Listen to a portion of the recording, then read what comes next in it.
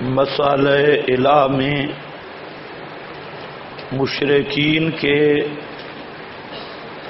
وفقیات فی العقائد کے بعد ان کے اعمال میں سے بعض اعمال آپ نے دیکھے کہ مشرقین عرب ملت ابراہیمی کے جس طرح مدعی تھے، تو ان میں دین ابراہیمی کے آثار موجود تھے۔ اور دین ابراہیمی کے آثار میں تصور توحید جیسا کہ آپ نے دیکھا، اڑھائی درجے توحید کو مانتے ڈیڑھ درجہ میں انہوں نے تحریف اور تقریب کی۔ اسی طرح ملت ابراہیمی یا دین ابراہیم کے بعض عملی آثار، جن میں تہارت نماز، روزہ، حج، یہ چیزیں بھی ان کی اصل مذہب میں موجود تھیں۔ اگرچہ انہوں نے اس میں تحریفات کر رکھی تھی۔ حج میں بھی بدعات شامل کی۔ روزہ نماز میں بھی بدعات شامل کر رکھی تھی۔ جیسے آج دین محمدی کے دعوے دار۔ ان میں اصل دین محمدی کے آثار تو موجود ہیں۔ دعوی بھی ہے۔ توحید کا نام بھی استعمال کرتے ہیں۔ لیکن شرک بھی کرتی ہیں۔ اسی طرح نماز، روزہ، حج زکات اصل دین میں موجود ہے، عقیدہ بھی ہے، لیکن سستی کی وجہ سے ادائیگی کم ہے اور ان عبادات میں تحریفات بدعات اور بختراعات زیادہ شامل ہو گئیں۔ تو یہی حالت تھی ان کی بھی۔ ملتا جلتا حال تھا۔ اس امت پر وقت لمبا گزرا۔ پندرہویں صدی۔ تو اس اور اس کی گڑبڑ خیر القرون کے قریب شروع ہوئی روافظ سے۔ جو خالصتاً یہود تھے، اس وقت سے لے کے آج تک اصل دین محمدی کو بدلا گیا اور بدلنے کی تحریکیں چلتی رہی یہ اگر آپ تاریخ عالم کا مطالعہ کریں تو آپ حیران رہ جائیں گے کہ یہ موجز محمدی ہے کہ یہ دین محفوظ اب تک آ رہا ہے۔ لیکن تمام دنیا کے مذاہب نے اس دین کو بدلنے کی سر توڑ کوششیں کی اور ہر مذہب نے اس میں بدعات، تحریفات، اللہ رب العزت نے ہر دور میں ایسے انسان پیدا کیے جنہوں نے سر دھڑ کی بازی لگا کر اپنی ہر چیز کو قربان کر کے اس دین کی اصلی حدود پر پیرا دیا۔ اور چند لوگ ہر زمانے میں رہے، جو آپ نے فرمایا تھا، لا تزال طائفت من امتی۔ ظاہرین الحق، وہ طائفہ منصورہ۔ یہ کبھی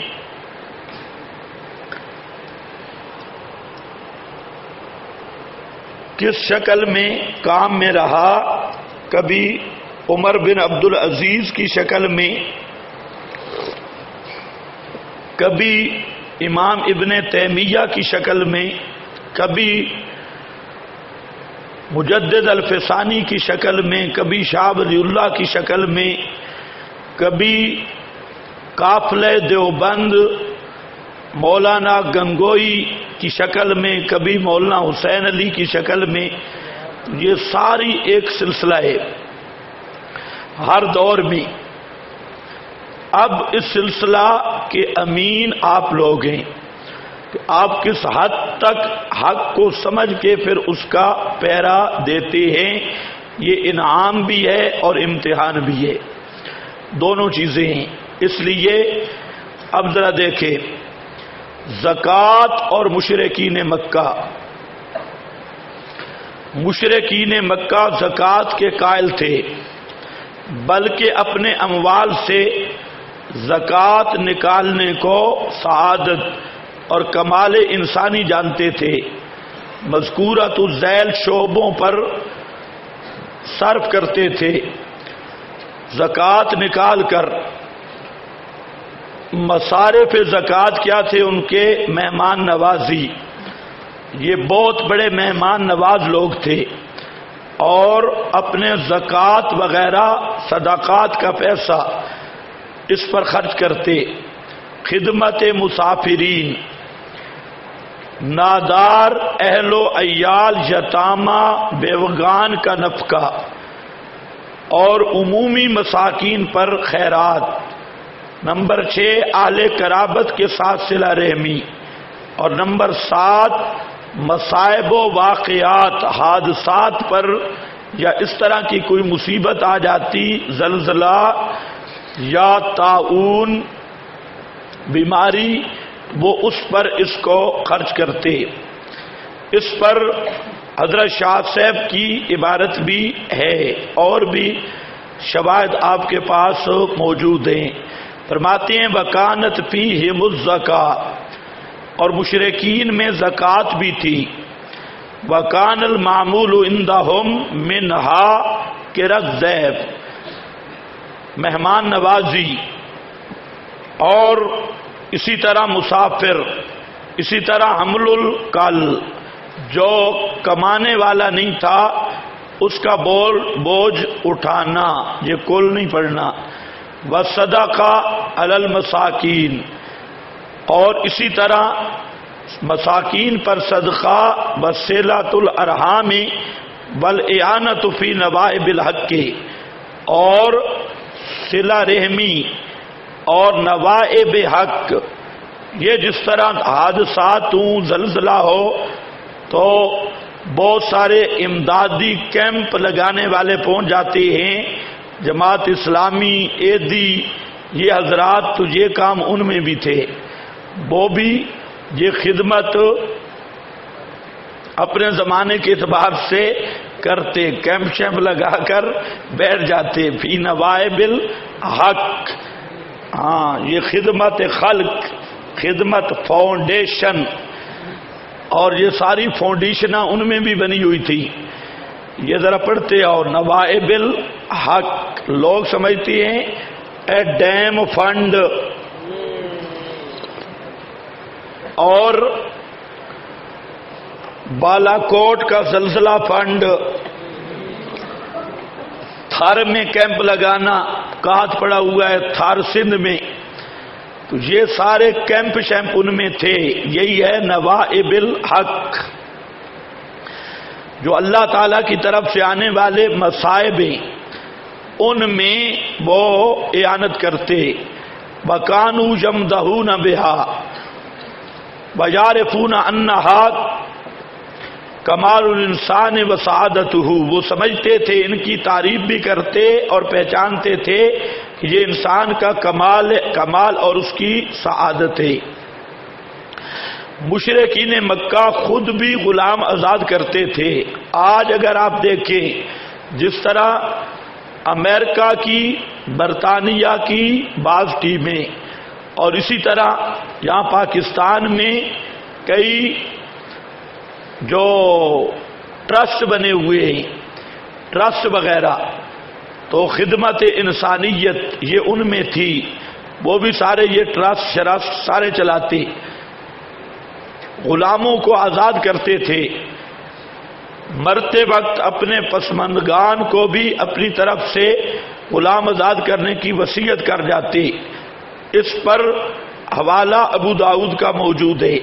اسی طرح مشرقین مکہ کے مذہب میں بہت ساری صفات وہ مشہور تھی حضرت خدیجت القبرا پہلی بئی جب آئی، نیچے آ جاؤ وہ ہیڈنگ پر۔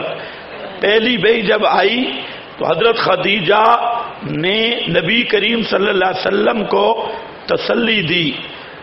تو کیا تسلی دی؟ کہتی ہے کل واللہ ما یخزی کا اللہ کی قسم، اللہ تجھے کبھی رسوا نہیں کرے گا۔ ان کا لتا سے رحما تو سلا رحمی، آپ سلا رحمی کرتے ہیں وہ تامل اور جو نہیں کما سکتا، اس کا بوجھ اٹھاتی ہیں۔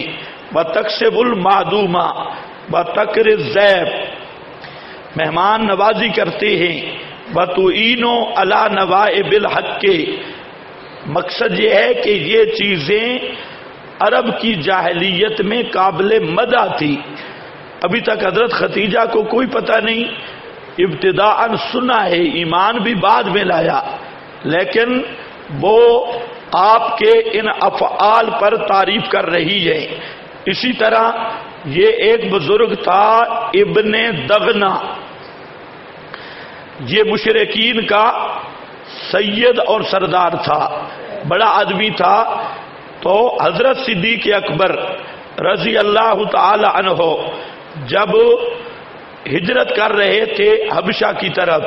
مشرقین سے تنگ آ کر راستے پہ ابن دغنا سے ملاقات ہوئی۔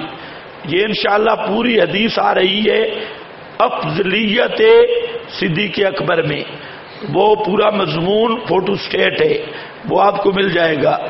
تو اس پر وہ ابن دغانہ نے کہا کہ فن مسلا کا یا ابا بکرن اے ابو بکر، تیرے جیسا آدمی لا یا خروجو ولا یخرجو۔ نہ جا سکتا ہے اور نہ کوئی نکال سکتا ہے۔ ان کا تک سے بل و تسل الرحما تو وہ ہے جو معدوم کو کما کما دیتا ہے اور سلا ریمی کرتا ہے۔ اور کل جو معذورین لاچار ہیں۔ ان کا بوجھ اٹھاتا ہے اور مہمانوں کی نواز، مہمان نوازی کرتا ہے اور نوائب حق پر تو معاملت کرتا ہے۔ تو یہ کون کہنے والا ہے؟ ابن دغنا جو مشرق تھا۔ تو وہ تعریف کر رہا ہے حضرت صدیق اکبر کی ان کاموں پر۔ اسی طرح حضرت ایسا فرماتی ہیں کل تو نبی میں نے نبی پاک صلی اللہ علیہ وسلم سے عرض کی کہ عبداللہ بن جد آن کان فل جاہلیت یہ جاہلیت میں یکر زیب، یہ مہمان نوازی بہت کرتا تھا، اور یسل الرحما یہ سلا ریمی بھی بڑی کرتا تھا، اور یفک العانی، یہ گردنے چھڑاتا تھا وہ یوسن الجوار اور پڑوسیوں کے ساتھ بڑا اچھا تھا۔ فسن تو علیہ تو میں نے تعریف کی اس پر حل نفع احوز علیہ کا یہ اس چیز نے اسے نفع دیا تو آپ نے فرمایا، لا۔ کالا رسول اللہ صلی اللہ علیہ وسلم، لا ان لم یقل یومن اللہ مغفرلی عتی یوم الدین، مقصد عقیدہ ٹھیک نہیں تھا۔ تو یہ سارے کام کرتا تھا۔ تو اب دیکھیں، یہ جہلیت کا آدمی ہے۔ اور اس میں اس کی صفات کیا ذکر کی جا رہی ہے مہمان نوازی اور سلا رحمی۔ اور اسی طرح فک آنی۔ اسی طرح جوار۔ پڑوسیوں کا خیال رکھنا۔ یہ آج بھی لوگ ان چیزوں پر متاثر ہوتی ہیں اور دیکھتے ہیں جی بڑا فلانا آدمی ہنس مک ہے بڑا خرچ کرتا ہے، یہ یہ ساری چیزیں۔ تو حضرت عائشہ نے پوچھا کہ نفع دیا، آپ نے فرمایا نہیں، کیونکہ اس کا عقیدہ ٹھیک نہیں تھا۔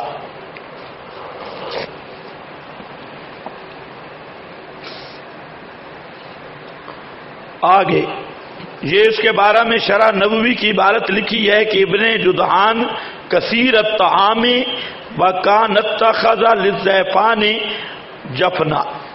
اس نے مہمانوں کے لیے ایک اتنا بڑا دیگچا رکھا ہوا تھا کہ سیڑھی لگا کے اس میں چڑھتا تھا۔ اتنا بڑا مہمان نواز۔ سارے لوگ آتے۔ اوپر چڑھنا پڑتا کوئی سیڑھی آپ نے جو سمجھے، لنٹر پہ نہیں۔ وہ جو دیگچا تھا نا، اس کو نکالنے کے لیے کوئی سیڑھی لگاتا ہوگا، وہ بڑا دیگچا ہوگا۔ تو یہ اس نے رکھا ہوا تھا۔ اور اسی طرح قرآن میں ہے بجا اللہ مما ذرا امین الحر سے بل انعام نصیبہ کہ وہ جانور بھی اللہ کے نام کے دیتے تھے، اور کھیتیاں اناج بھی اللہ کے نام پر دیتے تھے۔ تو ان میں ان صفات کی مدا تھی۔ آگے آؤ صفحہ چالیس پر۔ مشرقین عرب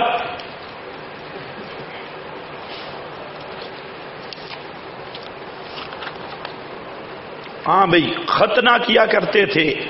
غسل جنابت، بلکہ تمام تمام خسال فطرت کے مذہبن قائل تھے۔ یہ آپ پہلے بھی پڑھ چکے ہیں۔ حجت اللہ کی عبارت تمام خسائل فطرت جانتے ہو کہ نہیں جانتے؟ بوچھے کٹانا۔ نیچے لکھا ہے۔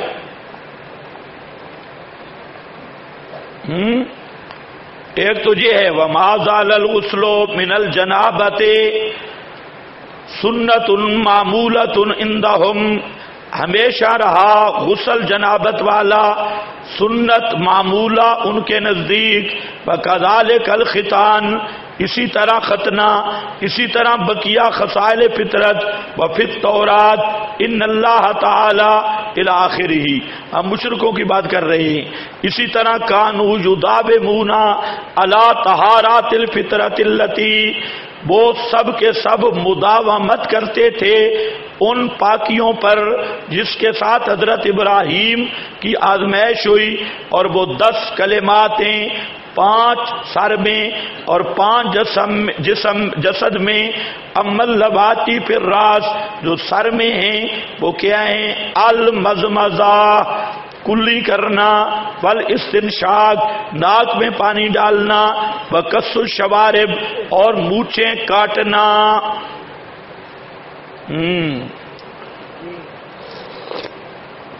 شوارب جو یہ ہیں۔ یہ جو اس ہونٹ سے آگے ہیں بقص الشوارب اور اسی طرح مانگ نکالنا۔ بالوں کے دو حصے کرنا ایک ادھر ایک ادھر اور جناب مشرقین میں تھا اسواک کیا تھا مسواک کرتے تھے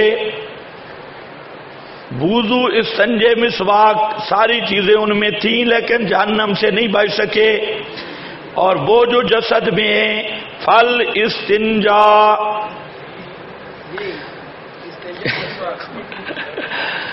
مسواگ استنجا آ گیا کہ نہیں آ گیا ہاں یہ کرتے تھے بتکلیم الادا پیر، اور یہ ناخن کاٹتے، ابت نیچے بغلوں والے بال کاٹتے، آنا زیر ناف بال مونڈتے، اور خطان فلما جا الاسلام کر رہا سنتن من السنن الملل۔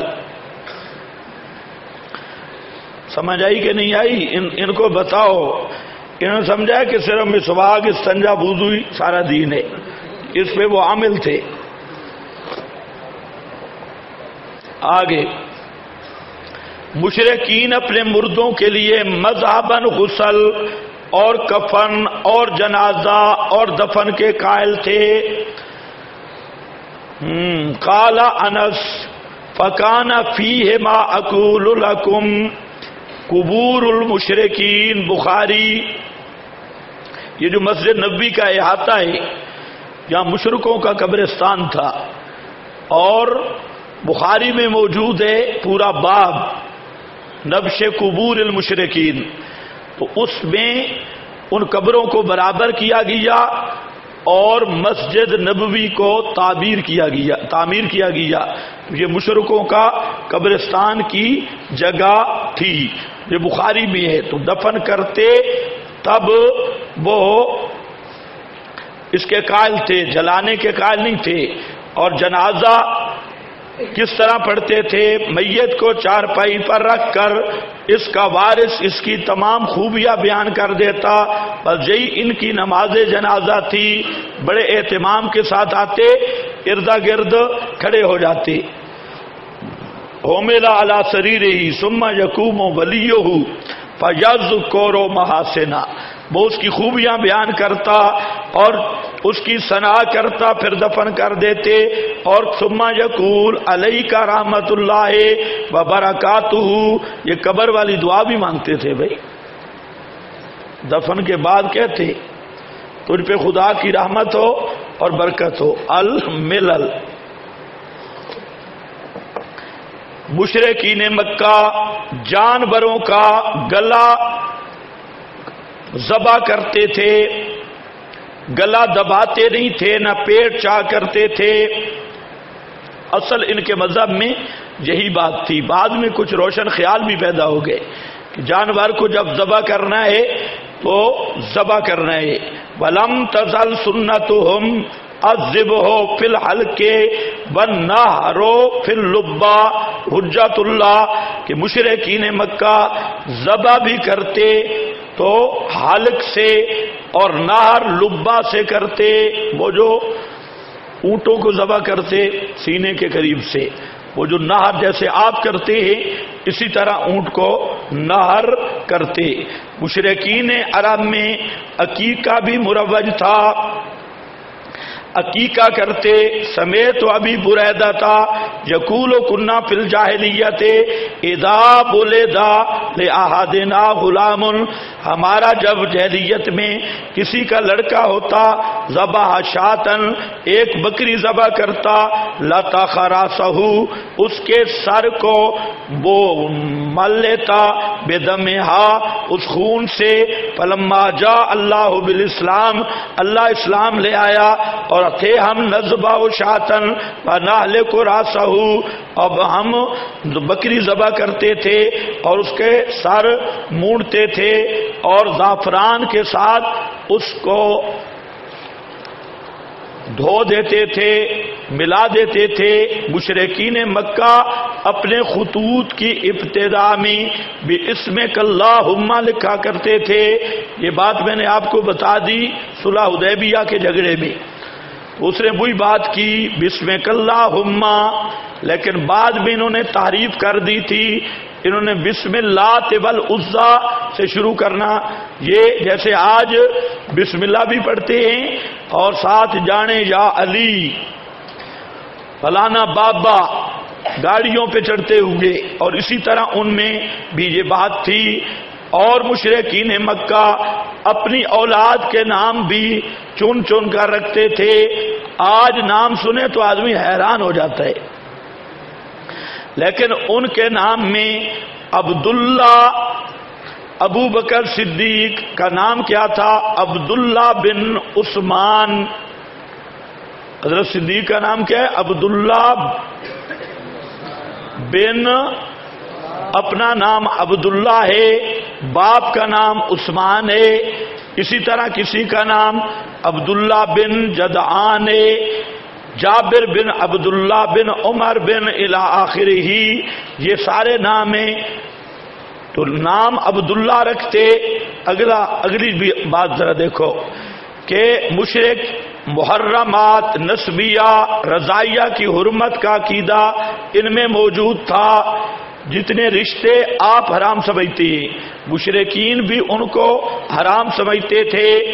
بما زالو جو ہر مون المہارما محارم وغیرہ سے نکاح حرام سمجھتے۔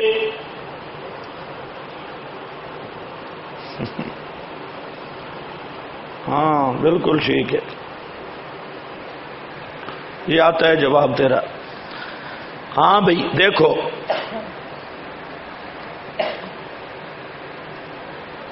کدھر گیا بھائی کل بناتے ول امہاتے ول اخوات۔ تو جتنے رشتے رضائی ہیں، ان کو حرام سمجھتے تھے اور نہیں نکاح کرتے تھے ماؤں کے ساتھ، بیٹیوں کے ساتھ، خالاؤں کے ساتھ، پھوپھیوں کے ساتھ۔ یہ نسبی حرمتیں۔ محارم سے نکاح کرنے کے قائل نہیں تھے۔ رضات کے رشتوں سے نکاح کرنے کے قائل نہیں تھے۔ اور مشرق مشرقین عرب میں خطبہ اور حق مار اور خطبہ اور نکاح کا یہ اسلامی طریقہ بھی مربع تھا۔ وہ ایسے نہیں تھے کہ جس کو جی چاہے جس کو لے جائے۔ بلکہ ان میں باقاعدہ جناب نکاح ہوتا۔ نکاح کا وہ خطبہ پڑھتے۔ اور نکاح کا بھی پورا انتظام ہوتا۔ یہ بزرگا بات کیوں نہیں پوری آپ سنتے خامہ خواہ بکر ضائع کرتے ہیں۔ کہتا ہے جی حدیث میں ہے مشرقین کی مخالفت کرو، بوچھے کاٹو، داڑھی بڑھاؤ۔ وہ مونچھے نہیں کرتے۔ تو اب مسلمانوں کی نہیں مونچھے آپ نے مسلمانوں میں نہیں دیکھے۔ ترچھے، تو میں کہہ تو رہا ہوں کہ ان میں تحریفات آئی تھی، ان میں روشن خیال طبقے بھی تھے۔ بات ہو رہی ہے ان کے اصل مذہب جس کے وہ معتقد تھے، اس کی۔ اب مسلمانوں کو جو نبی پاک علیہ السلام نے فرمایا کہ مونچھیں کٹاؤ، داڑیاں بڑھاؤ، کتنے مسلمانوں کی داڑیاں ہیں؟ کوئی سمجھ سمجھ نہیں آئی آپ کو؟ یہ عملی سستی تو میں ہر بار بار کہہ رہا ہوں کہ ان میں عملی سستیاں تھی۔ شروع سبق میں بھی میں نے یہی بات کی، لیکن اللہ کو کھوپڑی ترو تازہ عطا کرے تو سمجھ آئے۔ ہاں بھائی، دیکھو، خطبہ حق مار رسارا تھا۔ حضرت ایشا فرماتی ہیں اخبارت و انا نکاح ان نکاح فل جاہلیت جاہلیت میں نکاح چار قسم کا ہوتا تھا۔ نکاح منہا نکاح ناصل یوم ایک نکاح ان میں سے یہی ہے جو آج کل لوگ کرتے ہیں۔ یختب الرجل الى الرجل۔ وہ اسی طرح یختب خطبہ دیا دیتا تھا پیغام نکاح خطبہ، ایک خطبہ ایک خطبہ۔ خطبہ دیتے تھے اس کے ولی کو، یا اس کے بیٹی وغیرہ کو، تو وہ اس کو قبول کرتا، پھر اس کا نکاح ہوتا۔ جیسے آج ہوتا ہے، آپ جو پٹھانوں میں منگنی ہوتی ہے، یہ خطبے کی جگہ پہ۔ لیکن ان میں کئی رسمیں غلط ہیں۔ ایک تو منگنی کو یہ نکاح سمجھتی ہے۔ منگنی نکاح نہیں ہے۔ منگنی شگنی نکاح نہیں۔ اس لیے جب منگنی ہو گئی تو پھر گپ شپ شروع کر دیتی ہاں تو یہ حرام ہے۔ منگنی شگنی کوئی نکاح نہیں ہے۔ نکاح ایجاب قبول ہے۔ پھر کئی ایسی بد رسمیں ادھر ترنول میں کچھ ہیں۔ تو وہ لڑکی کو ادھر لے آتے ہیں اور لڑکے کو بھگا دیتی پتہ نہیں یہ رسم کہاں سے آئی۔ دو تین دن لڑکا بار بھاگتا رہتا ہے۔ پھر میرا خیال ہے دوبارہ نکاح پڑتی جب دو ڈبل نکاح ہوتی تو آپ بھی صرف دو بتوں پہ زور دیتی ہیں۔ ایک سنتوں کے بعد اجتماعی دعا اور ہیلا اسکات باقی بھی ہر چیز کو صاف کرو۔ سب بدعات کا رد کرو۔ صرف دو بتے نہیں ہیں۔ یہ نکاح، شادی، خوشی، غمی کی اتنی بڑی رسومات، بدعات، یہ چھائی ہوئی ہے۔ ان کا خاتمہ کرنا ضروری ہے۔ ہاں بھائی۔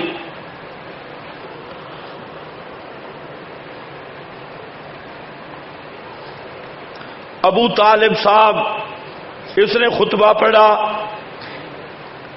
کال ایزن ان ابا طالب حضما رسول اللہ صلی اللہ علیہ وسلم بہولدی خطب خطبہ تن ابو طالب مولوی تھا جناب نبی کریم علیہ السلام کا جب حضرت ختیجہ سے نکاح ہوا، تو تو ابو طالب نے خطبہ پڑھا، جو ان میں مربج تھا، پڑھتے تھے مشرقین میں طلاق کا رواج بھی تھا۔ ایسے نہیں کہ جس عورت کی مرضی ہے جدھر چلی جائے۔ یہ آئے گا طلاق و مرتان پر انشاءاللہ۔ مشرقین میں طلاق رجی مغلزہ ان میں مروی تھی۔ کانو جو تل کونا سلاسن الگ تفرے کا وہ تین طلاقیں دیتے تھے۔ الگ الگ۔ حضرت عبداللہ ابن عباس رضی اللہ تعالی عنہ فرماتے ہیں ابل من طلّہ کا سلاسن پہلا شخص جس نے تین طلاقیں دی تھیں، وہ اسماعیل ابن ابراہیم تھے بکان العرب یفعلون ذالکا اسی طرح عربی کرتے تھے، طلاق دیتے ایک اور وہ آگ الناس بہا حتیٰ الى آخر ہی الملل مشرقین عرب، اللہ تعالی کے ناموں کی قسمیں بھی کھاتے تھے۔ اللہ کے ناموں کی قسمیں کھاتے، یہ آپ کے پاس نیچے بہت ساری آیات لکھی ہیں۔ اکسم بلّہ جہدا اے مان ہم اکسم بلّہ جہدا اے مان ہم الا آخر ہی آگے، قتل، چوری، زنا غزب غصب۔ یہ غزب نہیں، غصب۔ کی حرمت کا عقیدہ بھی ان میں موجود تھا۔ اگرچہ عملا ان میں وہ پورے پورے گرے ہوئے تھے، بلکہ چوری، قتل، زنا کی ان کے ہاں سزائیں بھی مقرر تھی بعض حدود بھی ان کے ہاں موجود تھی جب حضرت ہند آئی نا نبی کریم علیہ السلام کے پاس ابو سفیان کی بیوی حضرت ہند تو پردے میں تھی۔ پردے کا مطلب ہے کہ وہ چادر لگائی ہوئی تھی۔ آپ والا مارو پردہ نہیں۔ اوپر چادر سے منہ ڈھاپا ہوا تھا۔ تو نبی کریم علیہ السلام کی بیعت کرنے لگی۔ تو آپ نے جب فرمایا کہ زنا نہیں کرو گی، یہ بول پڑی۔ اب تزنل ہرا لقد کنہ نستا حجی من ظال کفل جاہلیہ فقی فبل اسلام تو ہند نے کہا کہ ہرا آزاد عورت بھی زنا کرتی ہے۔ ہمیں تو جہلیت میں اس سے حیا آتی تھی۔ تو اسلام قبول کرنے کے بعد زنا کا کیسے تصور ہو سکتا ہے؟ یہ اس بات کی دلیل ہے کہ وہ لوگ زنا اور ان چیزوں کو اصل دین میں برا سمجھتے تھے۔ عملی طور پہ تو آج مسلمانوں کی حالت دیکھ لو، لیکن اصل ان کے مذہب میں یہ چیزیں جو تھیں وہ جائز نہیں تھی۔ اسی طرح مشرقین تسبیح بھی پڑھتے تھے۔ اور تسبیح میں کیا پڑھتے؟ استغفر اللہ استغفار پڑھتے، زبردست کر کے آج بھی جاؤ نا دکان پہ، تو بڑا ٹھگ جو ہوتا ہے وہ اونچی استغفر اللہ پڑھتا ہے۔ ہاں، آپ کو اطمینان دلانے کے لیے استغفر اللہ استغفر اللہ اور استغفر اللہ کے ساتھ اپنا کام کرتا ہے۔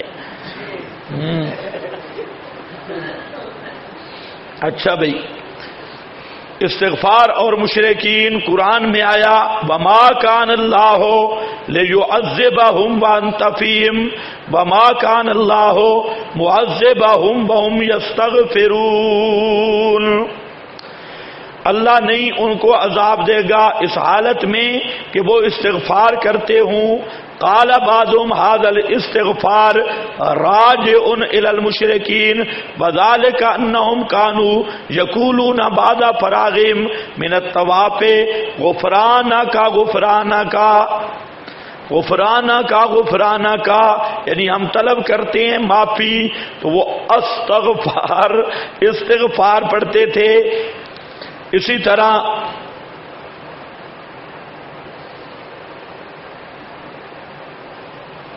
ان الذين كفروا بعد ایمانهم ثم ازدادوا كفرا اس کی ایک تفسیر ابو عالیہ نے کی ہے، فرماتے ہیں، ہم قوم انتابو من ذنوب عملوا فی حال شرک ولم یتوبوا من الشرک۔ یہ مشرک تھے شر مشرق ہونے کی حالت میں انہوں نے جو بعض گناہ کیے تھے، تو اس سے، ان گناہوں سے توبہ کی لیکن شرک سے نہیں کی۔ تو بعض چیزوں کو یہ گناہ سمجھتے، استغفار کرتے۔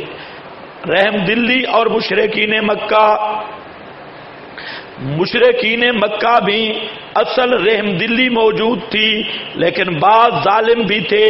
جیسے آج مسلمانوں میں کئی بڑے ظالم اپنی اولادوں کو بھی ذبح کر دیتی تو ان میں بھی کئی بڑے ظالم تھے جو زندہ درگور کرتے تھے۔ اور کئی حضرات ان میں اچھے بھی تھے، اپنے اصل مذہب پر یعنی تصور موجود تھا۔ مقصد یہ ان میں رحم دلی کا تصور اور نظریہ یہ موجود تھا۔ عملاً سستی بھی تھی۔ تو یہ یا کانا جو حجل یہ کون ہے؟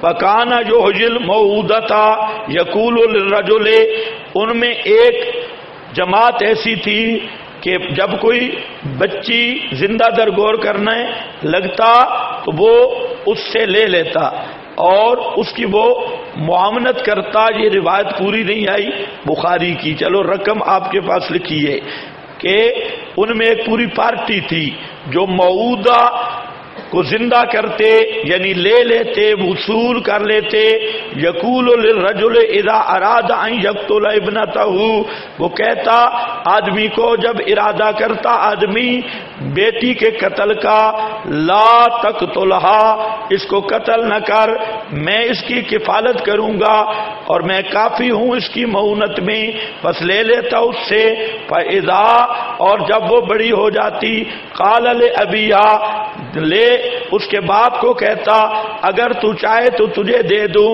اور اگر چاہے تو میں اس کی آگے انتظام کر دوں۔ تو ایسے لوگ بھی ان میں موجود تھے۔ یہاں تک آپ نے مشرقین کے اعمال جو ان کے اصل مذہب میں موجود تھے، اور تصور ان کا موجود تھا، اس کے متعلق ایک مختصر فہرست پڑھیے اب ہے نمبر لگا رہے ہو یا نہیں؟ کون سا نمبر؟ بارہ۔ تو اب جو ہے جناب یہ سوال و جواب کا سلسلہ ہے۔ سوال یہ ہیں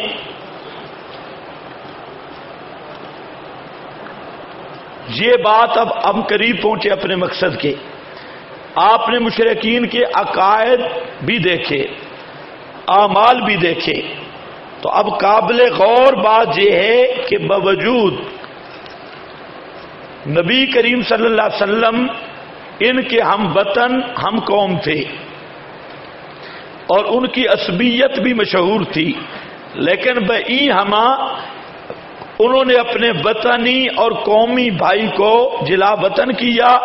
لیکن اس پر بھی ان کا غصہ ختم نہ ہوا، بلکہ اس جلا وطن قومی بھائی کو اس ہجرت گاہ میں بھی آرام سے نہ بیٹھنے دیا، بلکہ اس کی ہجرت گاہ میں جا کر جنگیں کی، جیسے عہد احزاب وغیرہ، مزید برآں ہجرت گاہ کے لوگوں کو اعلان جنگ کیا، جیسے انہوں نے خط لکھے وغیرہ وغیرہ۔ تو پہلا سوال نیچے لکھا ہے کہ مخالفت کیا تھی؟ جھگڑا کیا تھا؟ کیا مخالفت کی وجہ یہ ہو سکتی ہے کہ مشرقین مکہ حضور صلی اللہ علیہ وسلم پر نبوت ملنے سے پہلے کاذب اور خائن ہونے کا شبو کرتے ہوں اس لیے وہ کہتے تھے کہ داغدار زندگی کا مالک آج نبی کیسے بن گیا؟ ہو سکتا ہے کہ یہ بات ہو جواب ہرگز نہیں، بلکہ آپ کو نبوت ملنے سے پہلے ممبا امانت و صدق اور بکت کا برگزیدہ انسان مانتے تھے۔ یہ آگے اس پہ حوالہ آ رہا ہے۔ کالا پہل کالا حاضل قول احد منکم قبلہ ابو سفیان کا انٹرویو ہے۔ ہیراکل بادشاہ کے سامنے، ہیراکل عیسائی بادشاہ انٹرویو لے رہا ہے۔ اس نے پوچھا کہ یہ آدمی جس نے نبوت کا دعویٰ کیا، اس قول ان کے خاندان میں کسی اور نے بھی کیا ہے؟ تو کل تو لا ابو سفیان کہتے ہیں نہیں۔ فکالا کن تم تتا الکذب۔ بادشاہ نے سوال کیا کیا تم اس پر جھوٹ کی تومت رکھتے ہو؟ یعنی کوئی جھوٹ اس نے بولا ہے آج تک؟ آگے عبارت ہے فکالا لا۔ آگے عبارت کیا ہے؟ فکالا لا، تو ابو سفیان نے کہا، آج تک اس نے جھوٹ نہیں بولا۔ تو معلوم ہوتا ہے آپ کی سابقہ زندگی کو مقدس اور پاکیزہ سمجھتے تھے۔ اسی طرح نبی کریم علیہ السلام صفا کی پہاڑی پہ کھڑے ہوئے اور فرمایا ارائی تکم لو اخبر تو کم انا خیلن تخرو جو بے جبل آپ نے فرمایا، اگر میں کہوں کہ دشمن کی فوج اس چوٹی پہاڑ کے پیچھے سے حملہ آور ہونے والی ہے اکن تم کیا کیا تم میری تصدیق کرو گے؟ کالو ما جربنا علیہ کا کزیبا مسلم شریف سارے بولے، ہم نے آپ پر کبھی جھوٹ نہیں دیکھا کیا مطلب ہے؟ ہماری آنکھیں غلطی کر سکتی ہیں، آپ کی زبان سے جھوٹ نہیں نکل سکتا۔ تو یہ جو پہلا سوال تھا کہ ہو سکتا ہے انہوں نے دشمنی اس لیے کی ہو کہ آپ کی شخصیت، کردار اور نبوت سے پہلے والی زندگی پر ان کو اعتراض ہو۔ تو مسئلہ صاف ہو گیا کہ وہ رسول اللہ صلی اللہ علیہ وسلم کے صدق، امانت کے قائل تھے۔ نمبر دو کیا مشرقین کی مخالفت آپ کے ساتھ محضاتی تھی یا مذہبی تھی؟ یہ بھی سوال ہو سکتا ہے، جیسے قبیلے لڑ پڑتی قوموں کی لڑائیاں ہوتی ہیں، نجی لڑائیاں، زمینوں کے جھگڑے اور رشتوں کے جھگڑے۔ تو یہ کسی کے ذہن میں یہ آ سکتا ہے کہ ہو سکتا ہے ان کی ذاتی جیسے آج کل ہوتا ہے، ادھر ایک تلا گنگ میں مولوی صاحب تھے۔ تو وہ مولوی صاحب بیچارہ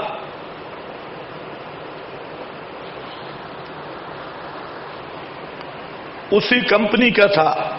یہ للڑ صاحبان اور اس کی عادتیں بھی انہی والی تھی۔ سب کی سب۔ تو وہ کسی لڑکی کے ساتھ اس کے تعلقات تھے، اس کے بھائی نے اسے منع کیا، نہ رہا تو اس کے بھائی نے اسے قتل کیا۔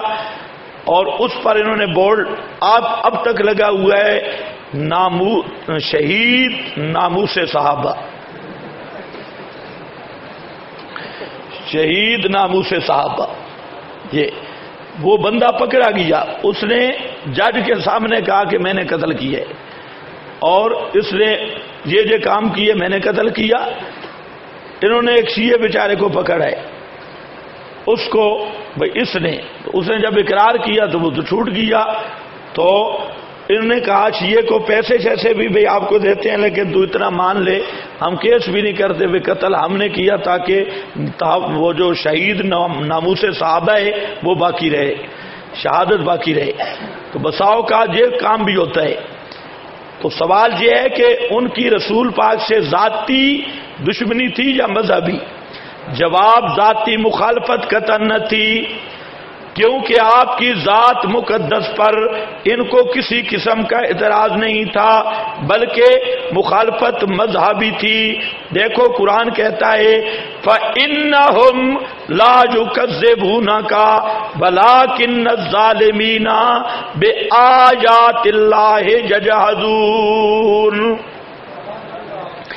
یہ لوگ آپ کو تو جھوٹا نہیں کہتے، لیکن یہ ظالمیں اللہ کی آیات کا انکار کرتے ہیں یج آپ کو صادق امین کہتے ہیں، لیکن اللہ تعالی کی آیات کا انکار کرتے ہیں۔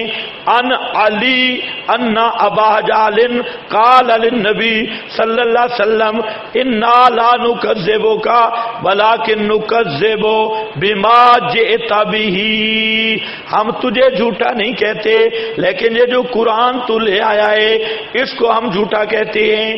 فانزل اللہ اللہ نے فرمایا فانہم لا یکذبون کا ولکن الظالمین بآیات اللہ یجحدون رواہ الترمذی یا لیتنی فیھا جزاء یہ جناب ورکا بن نوفل، حضرت خدیجہ کا قریبی رشتہ دار، جب ابتدا بئی پر حضرت خدیجہ ان کے پاس نبی کریم علیہ السلام کو لے کر گئی۔ تو یہ اس کے تاثرات کہتے ہیں، یا لئی تنی ہائے کاش، فیہا، میں افسوس ہے، میں بوڑھا ہو گیا، کاش میں جوان ہوتا۔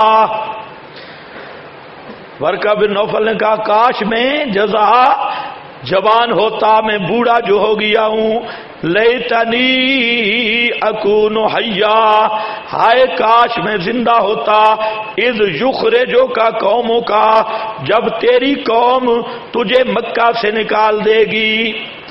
فقال رسول اللہ صلی اللہ علیہ وسلم، آپ نے فرمایا، کیا مجھے نکالیں گے ہوم یہ قریشی؟ مجھے نکالیں گے، مجھے تو وہ بڑی تعریفیں کرتے ہیں۔ صادق امین کہتے ہیں کالا نعم برکا بن نوفل نے کہا، جیا جیا، تجھے نکالیں گے۔ کیوں؟ لم یا تیرا جلن کتو، اس جملے کو پلے باندھ کے جاؤ۔ لم یا تیرا جلن کتو کوئی آدمی بھی نہیں لایا۔ بے مسلے ماں جیتا بھی اس کی مثال جو تو لایا اللہ اودیا۔ مگر اودیا کا معنی کیا؟ اس کے گلے میں ہار ڈالے گئے۔ واہ واہ کی گئی۔ کیا ہوا؟ اودیا۔ دشمنی کی گئی۔ برکا بن نوفل نے کہا کہ جو مسئلہ تو لایا ہے، یہ مسئلہ جب بھی کسی نے بیان کیا ہے تو اودیا اللہ اودیا، اس کے لوگ دشمن بن گئے۔ آج ایسے ہے یا نہیں ہے؟ ہر مسئلے پہ لوگ خوش ہے جب مسئلہ توحید آتا ہے تو اچھے بھلے طالب علم بیچارے یہ بھی ناراض ہو جاتی ہے اس طرح نہیں ہونا چاہیے تھا۔ کچھ نرمی شرمی ہونی چاہیے تھی۔ او دیا، یہ مسئلہ ایسا ہے، جب بھی کوئی بیان کرتا ہے، لوگ دشمن بن جاتے ہیں اس لیے حضرت شاہ فرماتے تھے، توحید آدمی کو اکیلا کر دیتی ہے۔ ایک دفعہ توحید سب سے جدا کر دیتی ہے۔ بخاری رقم الحدیث تین ہے۔ میرا خیال ہے، یہ جو شیخ الحدیث بیٹھے ہیں، یہ پہلے صفحے سے ہی ڈر جاتے ہیں، اس لیے مسئلہ نہیں بیان کرتے۔ او دیا لوگ دشمن نہ بنے۔ یہ پہلے صفحے پہ حدیث لکھی ہے۔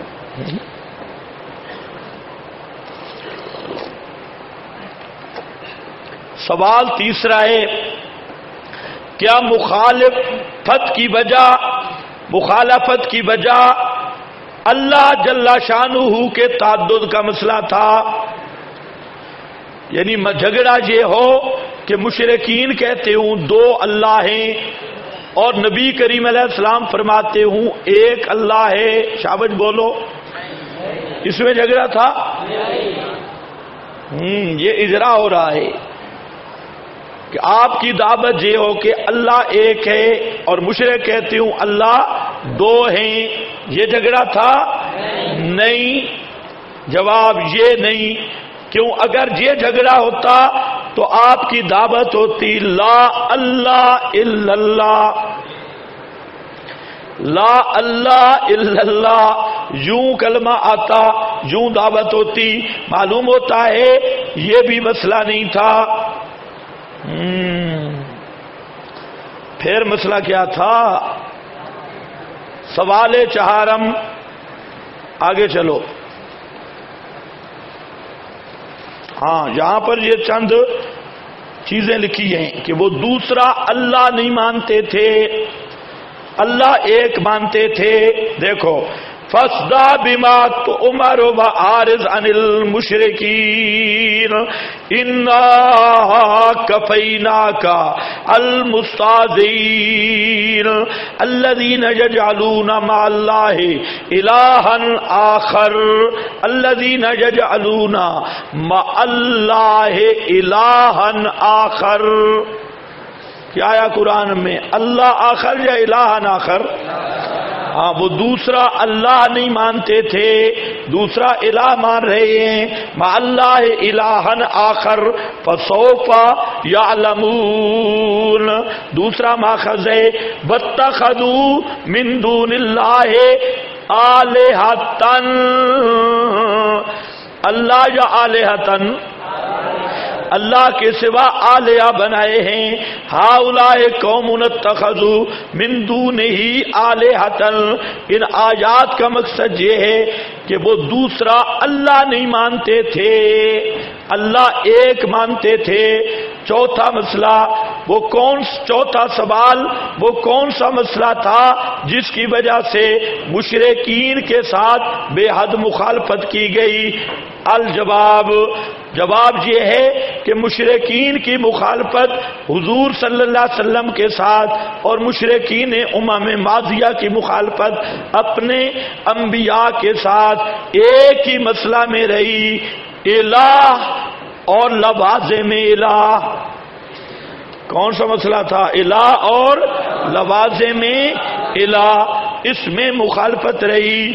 بایمانہ کہ انبیاء فرماتے ہیں کہ تمام قسم کی مالی، بدنی، لسانی عبادتیں، رکوع، سجدہ، طواف، اعتکاب، نظر، قسم، استمداد وغیرہ اور اس کے لوازمات غیب دانی نفع نقصان کا مالک ہونا اللہ تعالی کے ساتھ مختص ہیں اور کوئی ہستی اس کی ان صفات میں شریک نہیں ہے اور مشرقین کہتے تھے کہ اللہ تعالیٰ بے شک الہ ہے لیکن الوحیت اور لواز میں الوحیت میں اس کے ساتھ لواز میں الوحیت اس کے ساتھ مختص نہیں بلکہ وہ اللہ تعالیٰ مقربی اللہ تعالیٰ کے مقربین میں بھی الوحیت اور لواز میں الوحیت پائے جاتے ہیں خلاصہ یہ کہ انبیاء توحید فل الوحیت کی دعوت دیتے،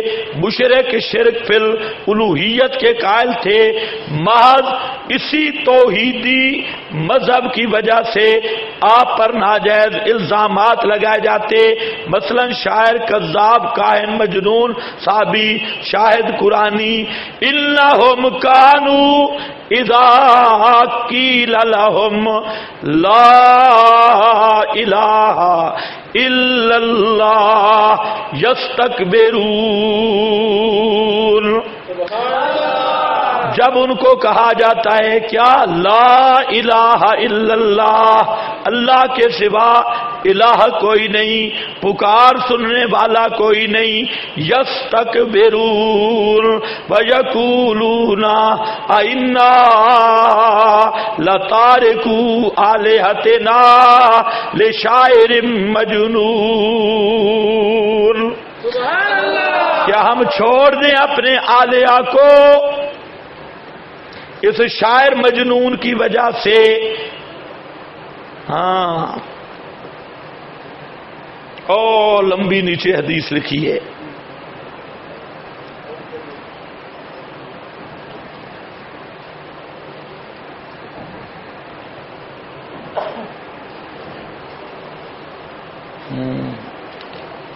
ابن کثیر نے لیا۔ اس کا خلاصہ یہ ہے کہ ابو طالب صاحب جب فوت ہونے لگا،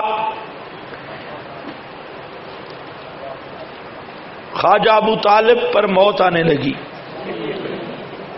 سارے سنادید قریش جمع ہوئے اور آئے، کہنے لگے، یا ابا طالب اور نیچے لینے۔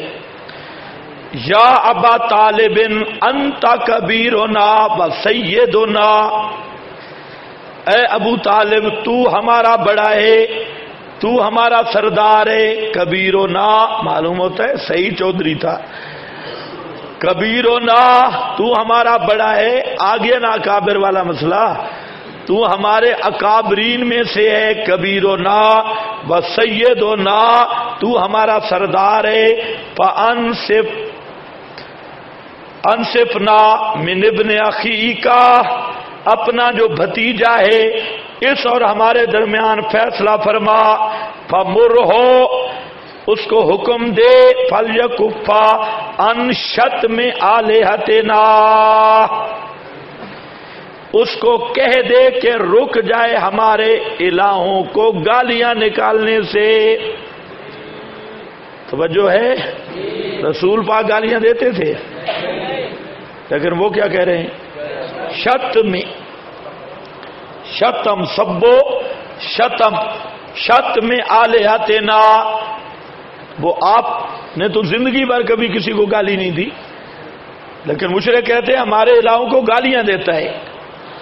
اور وہ گالیاں کیا تھی لا یسماؤ ما جملے کو کتمیر۔ لئی یخلو کو زبابا اموات ان غیر و آیا یہ یہ تھی جو ان کو تکلیف ہوتی تھی کہ یہ گالیاں دیتا ہے. آج نہیں کہتے، آج بھی جو یہ مسئلہ بیان کرے تو کہتے ہیں، توبہ، یہ تو اکابر کو گالیاں دیتا ہے. ہاں جو قرآن کی طرف دعوت دے تو کہتے ہیں، یہ اکابر کو گالیاں دیتا ہے. اور یہ مسئلہ بیان ہو کہ سننے والا اللہ ہے، وہ نہیں تو کہتے ہیں، گستاخی ہے، بے ادبی ہے. یہ وہی کہتے ہیں، شت میں اپنے بھتیجے کو کہے، اللہ کرے رک جائے، ہمارے الہوں کو گالیاں دینے سے، اور ہم چھوڑ دیں گے اس کو اور اس کے الہ کو۔ ہم کچھ بھی نہیں کہتے، مہربانی کرو صلح ہو جائے۔ صرف ہمارے الہوں کو گالیاں دینا چھوڑ دے۔ ہمارا جھگڑے ہی کوئی نہیں تو۔ اصل جھگڑا سمجھ آئے آپ کو؟ شتم۔ قرآن نے خود وہاں آپ نے پڑھا نا کہ بلاکن ظالمین بے آ یات اللہ ہے یجہدون وہ آ یات اللہ کیا تھی کلو بشربو فن کے ہو ماتا بالکم کون سی آیات تھی لا تک اللہ ما اف بلا تن ہر ہوما یہی ایتے تھی۔ نہیں اجاز کر تربا کا فل قرآن بہدا اجاز کر تربا کا فل قرآن بہدا بلو اللہ ادبار نفورا۔ جب تو قرآن میں وحدہ مقید فل قید پر حکم محت کلام کہہ دے وحدہ جب تو اللہ کی توحید کا مسئلہ بیان کرتا ہے اس وقت بلو پھرتے ہیں نفورا. ساتھ فتوے لگاتے ہیں، نفرتیں کرتے ہیں، ناک سڑکتے ہیں فتوا بازی بھی، بک بک بھی، نفرت کرتے ہوئے اور مقام پہ آیا ازا ذکر اللہ وحدہ، اذ اشم عزت قلوب الذین لا یؤمنون بالآخرہ اذا ذکر اللہ وحدہ، وہاں پر بھی وحدہ، یہ ایتے تھی دوستو بزرگوں اور وہ کہتے ایتے بے قرآن غیر حاضا یہ قرآن نہ ہو، او بدل ہو، او بدل ہو، یا اسی کو بدل دے، صرف لا یسماؤ نکال دے۔ ما جملے کونا من کی تبیر نکال دے اموات غیر و احیا نکال دے۔ یہ ایتے نکال دے ایتے بے قرآن غیر حاضا۔ کوئی فضائل اعمال جیسی کتاب لے آ۔ جس میں کسی کو کچھ بھی نہیں کہا گی ہاں؟ تو ان کی ہڈیاں درد ہوتی تھی آ جاتے توحید سے۔ خدا کی قسم مسئلہ یہی تھا۔ جیسے آج تم بیان کرو نا مسئلہ توحید۔ آج بھی جو مرضی مسئلہ کرو، لوگ خوش ہیں، لیکن جب توحید بیان کرو گے، سب کی ہڈیاں دکھیں گی۔ سب کو دا کہتے مولی صاحب، ذرا نیا ماحول ہے، یہاں پر ذرا احتیاط۔ میں کہتا ہوں، یہ کہنے والے ہی کافر ہے ہاں، اس کا مطلب ہے کہ جہاں احتیاط بوئی ہے بھائی ابو جہل والا احتیاط کیجیے ایسے نہ ہوں، بدل ہو۔ تو یہ بیچارہ یہ تو نہیں کہہ سکتا، قرآن سے نکال، یہ کہتے پڑھنی نہیں ہے۔ یہ آجات نہیں پڑھنی، تو عقیدہ اس کا بھی ابو جہل والا ہے بےمان کا۔ تو اس لیے آج جو جس مسئلے پہ آج ہمارے مقابلے میں للہ رہے بریلا رہے اور یہ سارے باطل فرقے ہیں، اسی مسئلہ کے وجہ اور اسی مسئلہ کی بنیاد، اسی مسئلہ کے مقابل یہود و نصارہ اور مشرقین مکہ نبی پاک کے خلاف کھڑے ہوئے تھے۔ وہی مسئلہ ہے۔ شت میں آلے ہتنا و ہم اس کو بھی چھوڑ دیں گے، ہم کچھ بھی نہیں کریں گے، نہ فتوے لگائیں گے، نہ مکے سے نکالیں گے، نہ لڑائیاں کریں گے۔ صرف ایک بات ہے، ہمارے الہوں کے جان چھوڑ دے، یہ ان کے بارے میں کچھ نہ کہے اور نیچے لکھا ہے درمیان میں۔ ہاں۔ کالا پباسا الیہ ابو طالب۔ ابو طالب نے دوسری روایت یہاں نہیں آئی کہ پتہ نہیں آئی ہے۔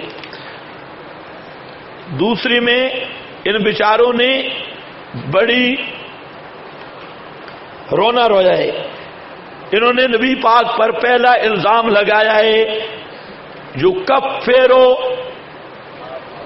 آبا آنا جو کب فیرو آبا یہ وہ ہے جس نے ہمارے سب بزرگوں کو کافر کہہ دیا۔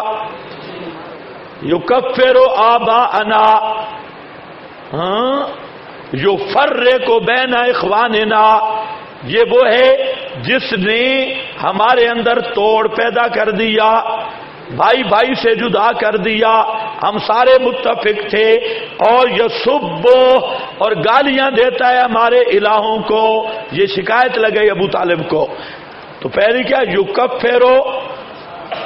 آبانا۔ آج بھی یہی ہوتا ہے۔ ہمارے بزرگوں کو کافر کہا، ہم نے تو نہیں کہا۔ ہم نے تو نہیں کہا ہم نے تو قرآن کا مسئلہ بیان کیا۔ تم ایک ایک بزرگ کو پکڑ کے آگے لے آتے ہو کہتے یہ بھی کافر تھا جی۔ ہم تو کہتے ہیں ان کا یہ عقیدہ ہی نہیں تھا۔ بات سمجھو ہم تو قرآن کا مسئلہ بیان کرتی ہے قانون بیان کرتے ہیں۔ آگے بزرگوں کو تو تم نے پکڑا ہوا ہے۔ ہمارے وہ قاضی صاحب ہیں وہ آئیں گے انشاءاللہ۔ وہ قاضی صاحب ڈنڈا والے میں پڑھا رہے تھے مدر سکول ٹیچر بڑے اچھے آلے میں تو انہوں نے کوئی پچیس اکابر کی فہرست دی۔ یہ بھی سما کا قائل، یہ بھی ایادے کا قائل، یہ بھی۔ تو قائد صاحب پیریڈ میں تھے، اس کے پاس آئے۔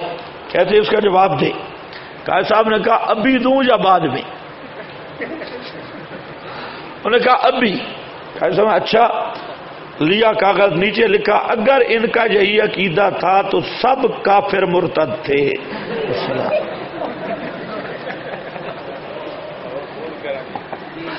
بھائی، اس بات کو ذرا سمجھو۔ ہم نے تو اکابر پہ کوئی فتوا نہیں لگایا۔ آپ نے میری زبان سے سنا، حضرت نانوتبی حضرت گنگوئی، شیخ الہند، مولانا تھانوی، ہم تو ادب سے نام لیتی۔ ادب، ہم تو کہتے ہیں کہ ان کی بارات اگر ملے، میں نے آپ کو تین طریقے بتائے۔ اکابرین کے۔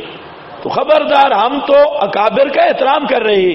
اب وہ ایسے ظالم ہیں، جب ہم قرآن پیش کرتے ہیں، وہ کتاب اٹھاتے ہیں اور بتاتے ہیں، یہ بزرگ بھی قرآن کا منکر تھا۔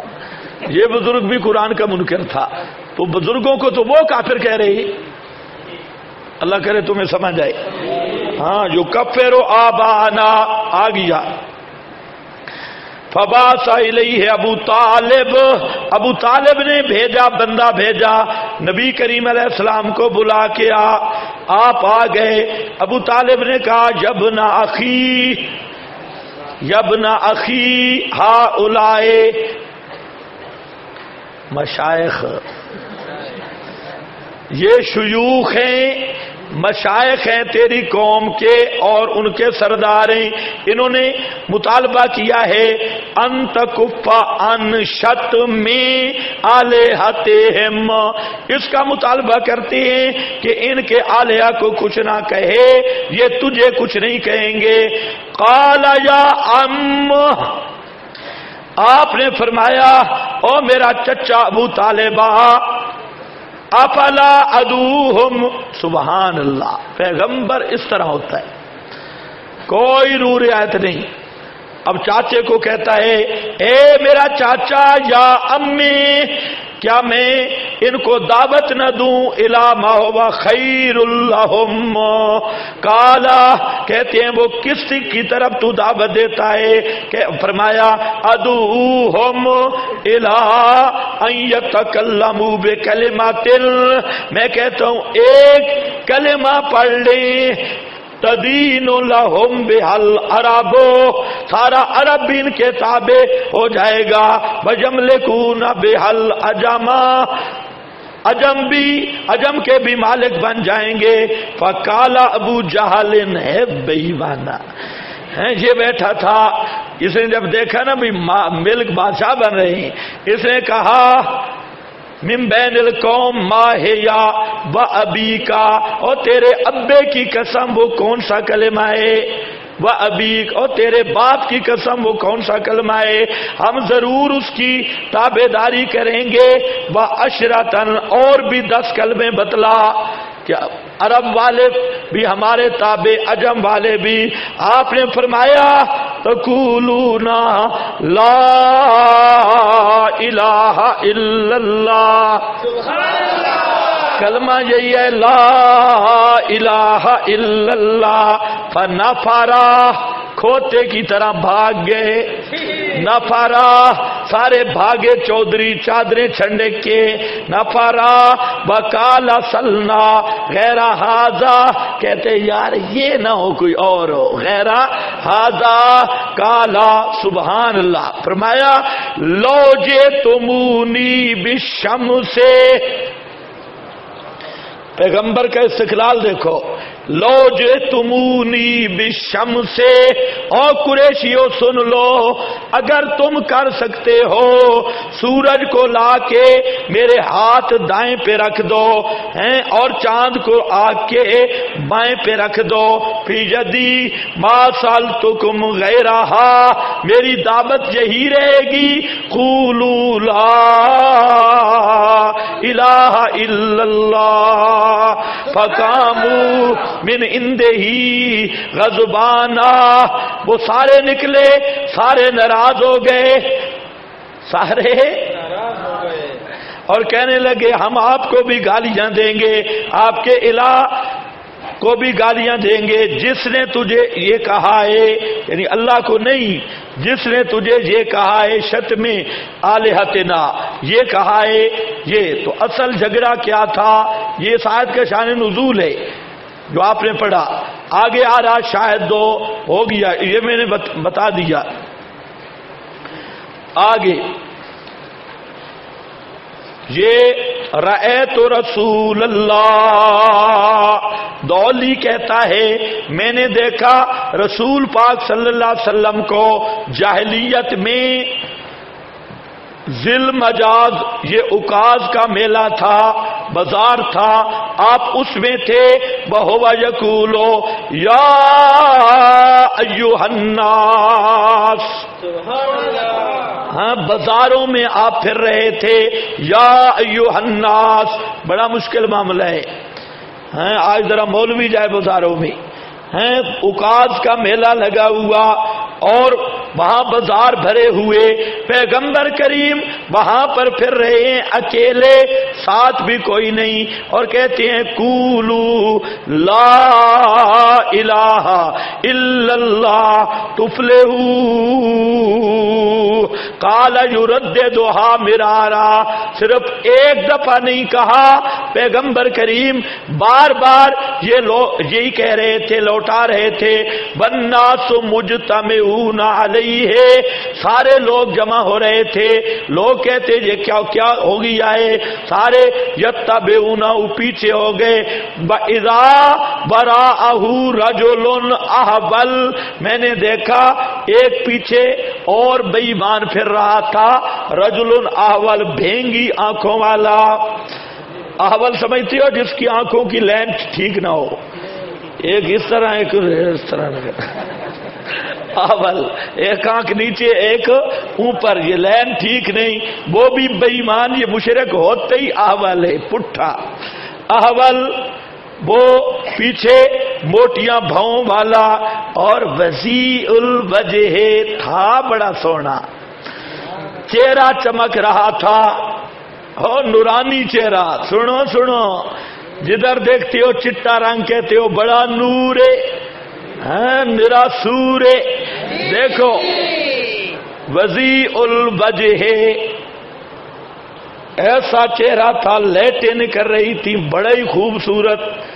سونا چہرہ۔ وزی الوجہ سمجھے ہو کہ نہیں؟ ہاں یقولو، وہ بکواس کر رہا تھا۔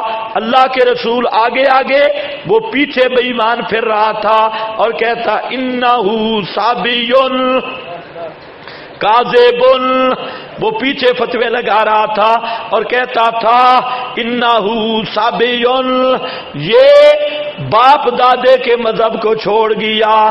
سابیون سابی کہتے ہیں اکابر کا عقیدہ چھوڑنے والا۔ یہ سب اکابر باپ دادے کے مذہب کو چھوڑ گیا۔ انہو سابیون کازیبن اور لوگوں، نہ ماننا اس کی بات، یہ جھوٹا ہے۔ فسأل تو دولی کہتے ہیں میں نے پوچھا ہاں، من ہاضا یہ کون ہے؟ بڈھا من ہاضا فکالا ام ابو لہب. انہوں نے کہا یہ ابو لہب بےمان ہے. تو وہاں کوئی دعوت دینی آسان نہیں تھی. رسول پاک دعوت دیتے، پیچھے سارے پھرتے تھے اور وہ چوکیوں پر بیٹھتے، آپ کو بدنام کرتے. یہ اللہ کا رسول ہی ہے کہ یہ دعوت پہنچا گئے. اللہ کے کروڑوں درود و سلام حضرت محمد مصطفیٰ صلی اللہ علیہ وسلم پر ہاں یہ معمولی مسئلہ نہیں، آج مولوی جناب مسجد میں بیٹھا ہے، حلوے روٹیاں مل رہی ہیں اور ممبر پہ یہ مسئلہ بیان نہیں کرتا۔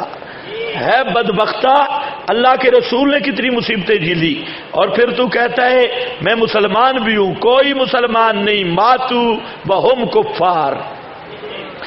کیا مشرقین کی آپ کے ساتھ ہو گیا بھائی؟ یہ ساری چیزیں آ گئی۔ اب دیکھو یہ تو آپ نے سمجھ لیا کہ جھگڑا کس بات میں تھا؟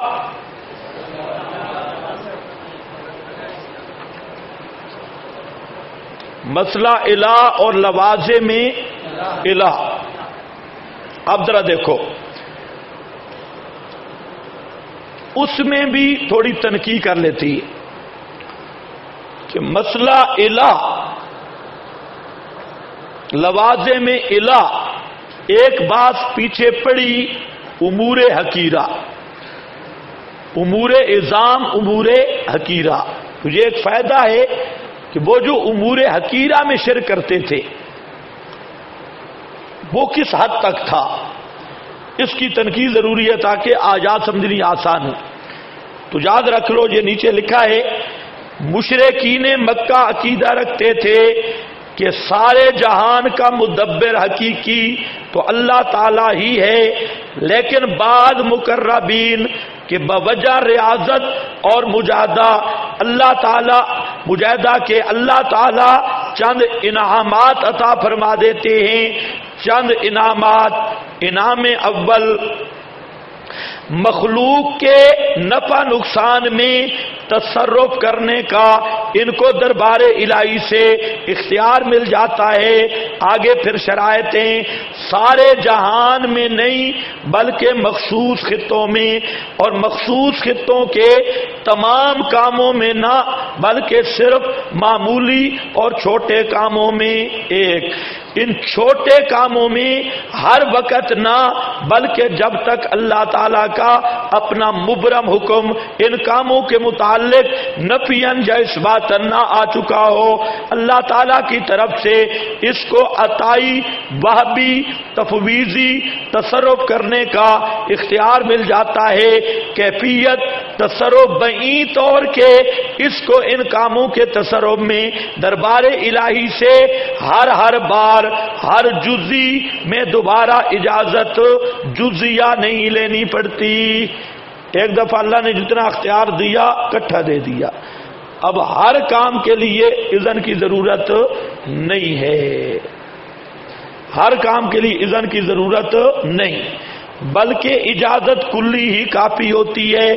بس وہ ہر تصرف میں اپنی مرضی اور ارادہ کر لینے کا مختار ہوتا ہے۔ یہ ہے مشرقین کا شرک۔ پھر تصرف و تدبیر اور پہلا مسئلہ اختلافیہ۔ سمجھ گئے کہ نہیں؟ اب وہ کہتے چھوٹے چھوٹے کام۔ وہ بھی مخصوص خطوں میں۔ جیسے آج دیکھ لو۔ ایک بابا پشاور میں تو وہ پشاور کے ایریے کا ذمہ دار ہے۔ چھوٹے چھوٹے، ایک لاہور میں کہتے داتا دی نگری۔ وہ وہاں ایک ادھر بری ہے۔ یہ تھا بھی شیعہ۔ یہ پنڈی والوں کا ذمہ دار ہے۔ اسی طرح وہ کہتے مخصوص خطوں میں اللہ مخصوص چھوٹے چھوٹے کاموں کے اختیارات ان کو دیتا ہے۔ اور اس کے لیے بھی شرط ہے کہ وہ تقدیر مبرم میں اٹل نہیں ہوتے، ایک دوسرا وہ اللہ اذن کلی دے دیتا ہے۔ کلی کا مطلب سمجھو کہ ہر جزی میں جتنے کاموں میں اختیار ملا، ہر ہر جزی میں الگ اذن کی ضرورت نہیں ہوتی۔ یہ مانا ہے کلی کا۔ سمجھے کہ نہیں سمجھے؟ ہاں یہ۔ اب اللہ کے نبی آئے، انہوں نے کیا کہا؟ فرماتے ہیں، کسی کام میں کسی بڑے سے بڑی مخلوق کو بھی اللہ تعالی نے ذرا بھر تصرف کا اختیار نہیں دیا۔ کیا لکھا ہے؟ ذرا بھر تصرف کا اختیار نہیں دیا۔ نہ ذاتن نہ اتان یہ توحید فی تصرف ہے۔ توحید فی تصرف ہے۔ واہ شاہ شہید پہ خدا کی رحمت ہو، اسماعیل شہید، زبردست جملہ لکھا۔ آج تک مشرق ہضم نہیں کر سکے۔ کہتا ہے، جس کا نام محمد یا علی ہو، وہ کسی شے کا مختار نہیں ہے۔ سادی اردو ہے۔ کسی یہی کہنا چاہتی ہے شاہ اسماعیل شہید کہ ایک ذرا پر بھی مافو کل اسباب تصرف نہیں اب سمجھ آئے گی۔ انبیاء کہتے تھے بلدین تدون من دون ہی ما یملکون من کتمیر. ما یملکون من کتمیر۔ کھجور اوپر اندر گٹھلی، اوپر پردہ، اس پردے کے بھی مالک نہیں۔ اب سمجھ آئی؟ اللہ نے نہیں فرمایا بھینس کے مالک نہیں یا مشرق کی لاش کے مالک نہیں نہیں، کتمیر، کھجور کی گٹلی، اوپر پردہ، اس کے بھی مالک، یہ نبیوں کی دعوت ہے، ذرہ پر بھی تصرف نہیں، کسی شے کے مختار نہیں۔ وہ سمجھے نہیں سمجھے؟ ہاں لا جملے کو نہ مسکالا ذرا تل سبحان اللہ نبیوں کی دعوت یہ ہے ذرا تین سرسوں کے دانے جتنا اختیار بھی کوئی نہیں۔ تم کہتے ہو خطوں میں اختیار، پنڈی میں اختیار، پشاور میں اختیار۔ اور بنیر کا پورا بابا ذمہ دار اور لاہور کا کوئی ذمہ داری کیا؟ ما جملے کو من کتمیر۔ من کتمیر۔ کلد الذین زعمتم من دون اللہ لا یملکون مسکال ذرات فی السماوات ولا فی الارض وما لهم فیہما من شرک وما له منه من ظہیر آگے، واللہ یکزی بالحق. والذین یدون من دونه لا یکذون یہ بے شعی ان سمجھو، بے شعی ان کسی ایک چیز کا بھی وہ اختیار نہیں رکھتے۔ ان اللہ ہو سمیع البصیر۔ تو انبیاء کا مذہب تھا، ایک ذرے پر بھی ان کا تصرف نہیں ہے۔ اللہ جس بال کو سفید کر دے، یہ بیچارے اس کو بھی کالا نہیں کر سکتے سوا مہندیاں لگانے کے۔ اس کو اپنی حالت پہ نہیں لگا سکتے۔ سن رہے ہو کہ نہیں؟ جھگڑا مختار کل تک کا تھا یا مختار شہ کا؟ مختار ذرہ کا۔ انبیاء کی دعوت تھی ایک ذرہ۔ اب کدھر گئے وہ تصاوی والی کمپنیاں؟ شرک تب بنتا ہے کہ برابری ہو۔ تو پھر برابری ہو تو ماں جملے کو من کتمیر کا کیا ماننا مس کالا ذرہ تین کا کیا ماننا لا یک بے شعی ان کا کیا ماننا برابری شرابری چھوڑو، ایک ذرہ پر کسی نبی ولی کا مافوکل اسباب تصرف ماننا اسی کا نام شرک ہے۔ کیونکہ انبیاء کی دعوت یہ ہے، تصابہ کے انبیاء نے یہ دعوت دی کہ اللہ کے برابر اختیار نہ مانو۔ پتہ نہیں یہ کہاں سے باندر نکلے؟ نئی تحقیق، نہ قرآن دیکھا، نہ سنت۔ تصابی تصابی تصابی تصابی اب دیکھو، دوسرا انعام کہ وہ اس علاقہ کے ان کاموں میں جو اس کے حدود اختیار سے باہر ہوتے ہیں، شفاعت کاریہ کے ذریعے ہاں کچھ تو کر دیتے ہیں نا چھوٹے کام۔ اور جو بڑے بڑے کام ہیں یہ کر نہیں سکتے کروا دیتی کر نہیں سکتے؟ ہاں حضرت پیر طریقت سید نیت اللہ شاہ سے بخاری رحمت اللہ علیہ فرماتے تھے، مشرق دو قسم پہ تھے، ایک اپر کلاس کے مشرق،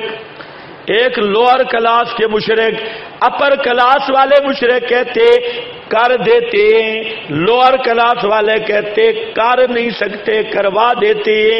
تو وہ کہتے جو ان کے اختیار میں کر دیتے ہیں، جو نہیں ہے تو کروا دیتے ہیں۔ عقیدت الانبیاء، انبیاء کا عقیدہ یہ ہے کہ اللہ تعالی کے دربار میں کوئی ہستی چپی کاری نہیں۔ اللہ پاک سے زور ہی زور ضرور اس طرح کروانے اور منوانے والا بھی کوئی نہیں ہے۔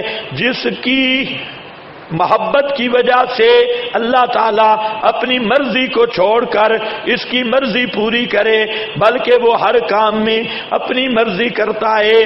مال الظالمین من حمیم بلا شفی یوتا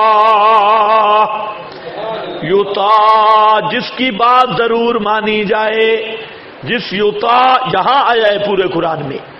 شفاعت کے مسئلے کی اصل یہ آیت ہے، جہاں نفی ہوئی یوتا، جس کی بات ضرور مانی جائے۔ ہاں نیچے حکانی کا حوالہ ہے کہ اس روز ظالموں کا نہ کوئی حمایتی مددگار ہوگا اور نہ کوئی سفارشی کہ جس کی بات ضرور مانی جاوے۔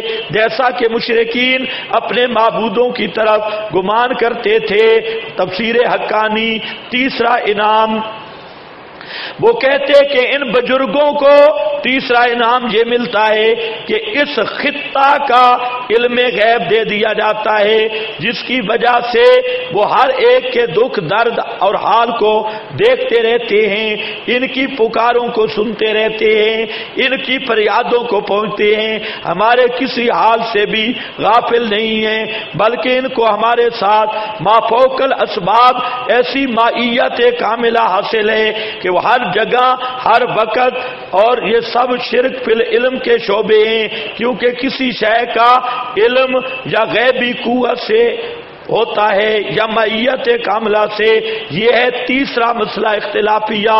وہ کیا کہتے کہ اس خطے والوں کے احوال کا علم معاف ہو کل اسباب بابے کو مل جاتا ہے۔ اس لیے جب ہم پکارتے ہیں تو بابا سنتا ہے۔ دیکھتا ہے یہ عقیدت الانبیاء انبیاء کا عقیدہ کیا ہے؟ ان تدوہم لا يسمعوا دعاءکم ولو سمعوا مستجابوا لکم ویوم القیامت یکفرون بے عشقکم ویوم القیامت یکفرون بے بے شرککم، کوئی دنیا کا ملہ قائلین سما کو مسلمان کہہ کر، اس کو کوئی شاید کو حل کر، یکفرون بے شرک کے قوم قرآن نے شرک کس چیز کو کہا ہے؟ سمجھے ہو کہ نہیں سمجھے؟ ہاں فروئی فروئی فروئی۔ قرآن شرک کہہ رہا ہے، اللہ کو پتا تھا مولویوں کی ہوا خارج ہو جانی ہے۔ اس لیے ان کے سارے فتوے گئے۔ اب بے شرک کے کم شرک کا فتوا آیا یا نہیں آیا؟ کس نے لگایا فتوا شرک کا؟ اچھا یہ شرک بغیر سما کے عقیدے کے بنتا ہے یا سما کے عقیدہ رکھ کے؟ ایک آدمی پکارتا ہے، سما کا عقیدہ نہیں شرک ہوگا؟ شرک تب بنے گا کہ سما کا عقیدہ ہے۔ تو اصل بنیاد ہے دار و مدار سما کا عقیدہ۔ یہ مافوکل اسباب سما والا عقیدہ، اسی کو قرآن نے کہا یک فرونا بے شرک کم، ورنہ لکھو پرچیاں، پوچھو ملا سے کہ جہاں شرک کم قرآن نے کس کو کہا ہے؟ ہاں تماشا بنا ہوا ہے، وہ بھی مسلمان ہیں، ہم بھی مسلمان ہیں، ہم قرآن مانتے ہیں، وہ نہیں مانتے ہیں، دونوں مسلمان۔ ہوں ان تدوہم لا يسمعوا دعاءکم ولو سمعوا مستجابوا لکم ویوم القیامت یکفرون بشرککم ولا ينبئوکا مثل خبیر آگے بہم ان دعائے ہم غافلون. آگے کلا یالم من فی السماوات والارض الغیبا الا اللہ وما یشورون ایان یباسون یہ انشاءاللہ آ رہا ہے۔ یہ مسئلہ علم غیب آئے گا۔ آگے عقیدت چوتھا انعام، چوتھا وہ کہتے جو انعام ملتا ہے۔ چہارم یہ کہ اللہ پاک ان کو اس علاقہ کا معبود بنا دیتا ہے بئی مانا کے جو عبادات مالیہ اور بدنیہ اور لسانیہ، سجدہ، پکار، اعتکاف، طواف وغیرہ اللہ کے لیے مخصوص ہیں، وہ سب اس کے لیے جائز ہو جاتی ہیں۔ یہ ہے مشرقین کا شرک فی الوحیت اور چوتھا مسئلہ اختلافیہ۔ شرک فی الوحیت اور چوتھا مسئلہ عقیدت الانبیاء۔ انبیاء کا عقیدہ ہے، فعلم انہو لا الہ الا اللہ بس یہ چار انعام مانتے۔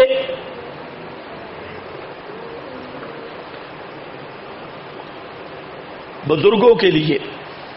تو وہ چار انعامات کے مقابل آیا عقیدت الانبیاء یہ اصل مابہن نزا سمجھ گئے یا نہیں؟ یہ ہے اصل جھگڑا۔ مشرقین کا رسول اللہ صلی اللہ علیہ وسلم کے ساتھ یہی جھگڑا ہے۔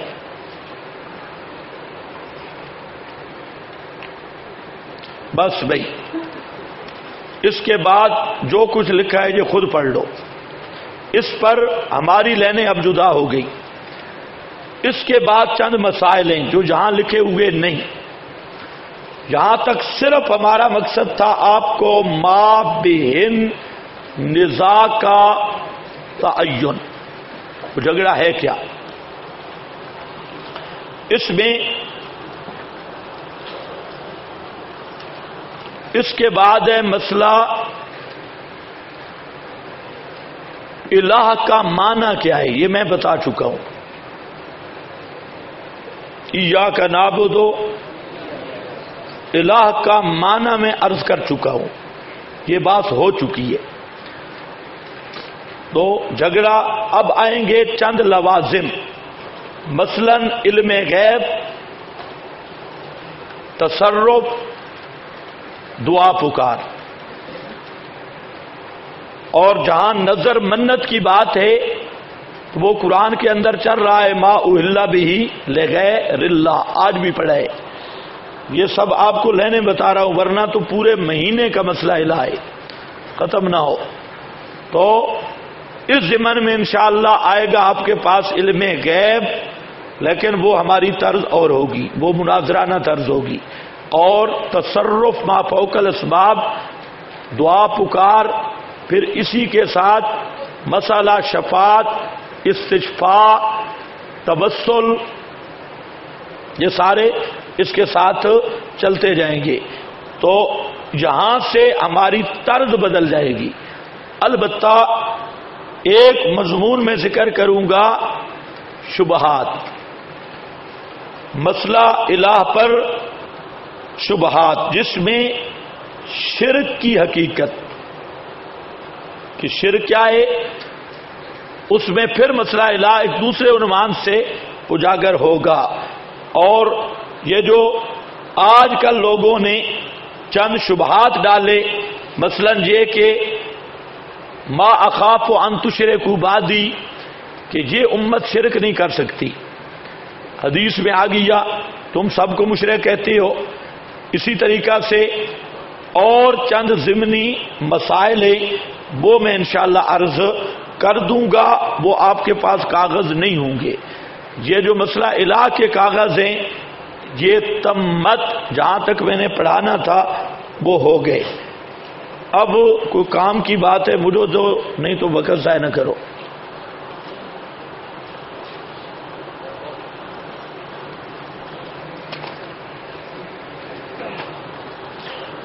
ایک تو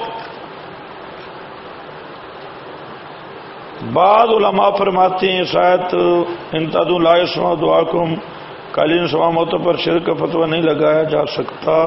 اس کی وضاحت فرمائیں، سورہ فاتر میں آنے دو، پوری وضاحت ہوگی۔ قائلین سما مطلق سما کا قائل ہے۔ مشرقین سما مات تصرف کے قائل تھے۔ اس وجہ سے اے تدو شروع بتلایا کہ وہ سما یعنی ما فوکل اسباب تصرف کا قائل ہو تو وہ مشرق ہے ما فوکل اسباب سما کا قائل ہو تو مسلمان ہے۔ یہ تقسیم کرنے والا خود زندیق ہے۔ جس نے پوری توحید کا ستیہ ناش کر دیا۔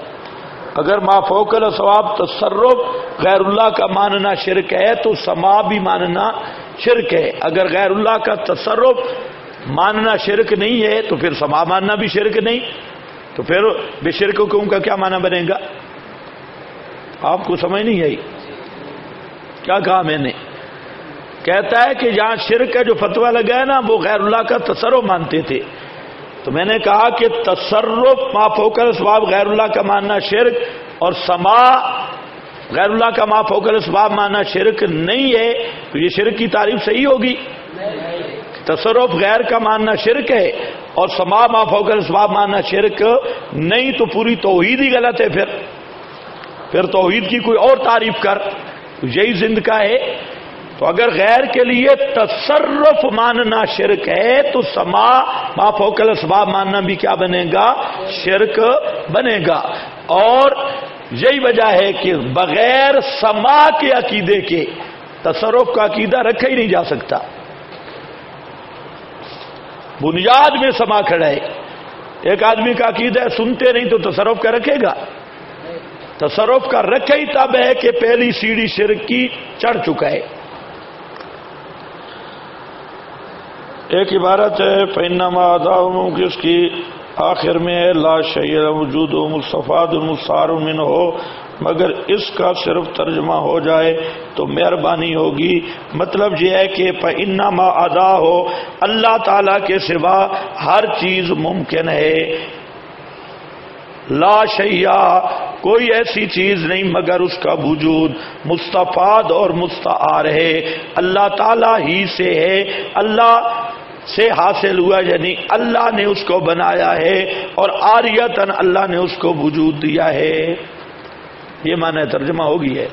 مصفاد مستعار من اللہ بعض علماء فرماتی ہاں۔ بس بھائی یہ مسئلہ جہاں تک ہو گیا۔ اب ایک تو آج ان کی حاضری لگاؤ۔ بہت سارے چہرے مجھے نظر نہیں آ رہے۔ ان سب کی حاضری لگا کر صبح، کل صبح صبح پیش کرو۔ ہاں یہ جو انتظامیہ ہے، یہ ذرا الرٹ رہے۔ کئی بے ایمان ہیں، تو وہ جمعرات کو ضرور ادھر ادھر منہ مارنے جاتی ہے